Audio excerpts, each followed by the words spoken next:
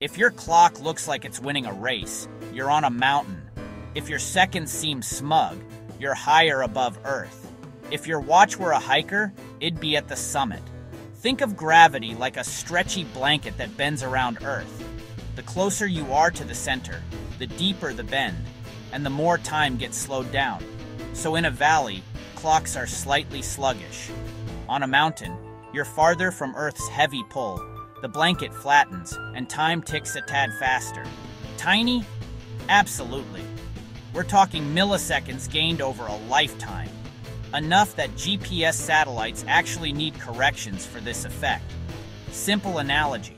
Imagine two identical metronomes, one down in a canyon, one on a peak. The peak metronome clicks ahead by the smallest fraction, but it's real. Bottom line, altitude changes your relationship with time. No sci fi, just Einstein and gravity doing subtle bookkeeping. So next time you summit, tell your watch it earned a few extra milliseconds.